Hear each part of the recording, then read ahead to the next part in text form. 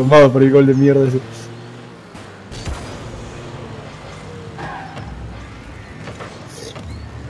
Acostumbrarme a tu vieja, me acostumbrar a la puta que te parió. ¿Eh?